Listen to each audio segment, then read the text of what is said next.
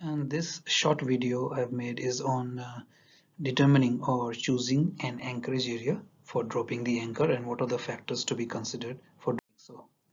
So the first factor that you will consider for choosing an anchorage area is the seabed uh, because the bottom should be clear of any cables, pipelines or foul ground. Make sure that you also check your charts.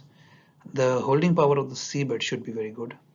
The holding power is good if the seabed is soft and the soil is cohesive in nature. The best seabed is clay, which is soft for the anchor to dig in deeply and cohesive at the same time. The relative holding power of firm sand is considered as 1, clay is 1.5, mud is 0.5, a loose coarse sand 0.3, gravel 0.3 and rocky is 0 so it's hard to anchor uh, in on seabeds which have a rocky or a gravel or a loose coarse sand uh, as the seabed. So clay falls somewhere in the high range and that's why it's suitable for the anchor to be dropped and also to hold to the seabed. The second factor that we considered is uh, whether that anchorage area is sheltered or semi-sheltered. So an anchor is designed to hold the ship firmly in a sheltered or semi-sheltered area only. In open seas it is not advisable to anchor as far as possible. The swell of the open sea keeps a constant pressure on the anchor chain and shifts it almost continuously. It is possible with moderate to heavy swell that the anchor will not even hold. So when in open sea, try to avoid anchoring as far as possible unless it's an emergency. Open sea, that's why you will see the normal practice is to drift around, especially if you are waiting for the pilot or if there has been any delays in your ship in going to the port. The third factor that we consider in choosing an anchorage area is the depth of the water available to us. So the depth of the water at anchoring position should not be too shallow or too deep. In very shallow water, it is possible that at slack water, the anchor flukes are just underneath the keel of the vessel and there is a damage to the keel as the vessel pitches or rolls in the swell.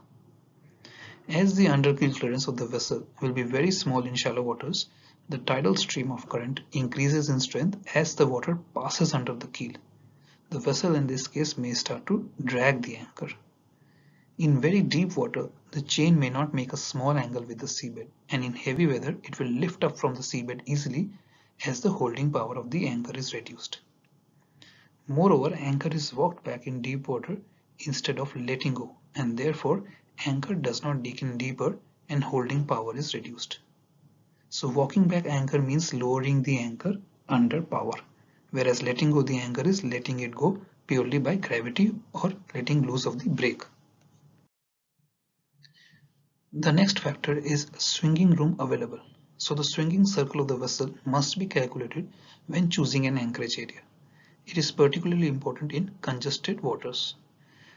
Swinging circle can be easily calculated by simply adding up the length of the cable to be paid out and the length of the vessel. It will be theoretically slightly larger than the actual swinging circle, hence giving the vessel a margin of safety. The length of the cable to be paid out of course depends on the depth of the water.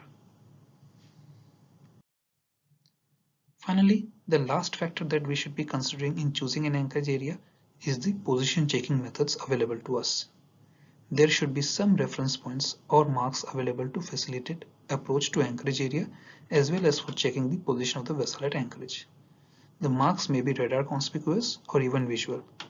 So they should be fixed objects like lighthouses or islands or uh, any other conspicuous land-based objects could be transit points but uh, racons so that you can use it for position checking methods to determine if your vessel is holding anchor after dropping anchorage. So this was a short video on determining the factors that uh, influence our choice of an anchorage area. Let me know what you thought about this video. Bye.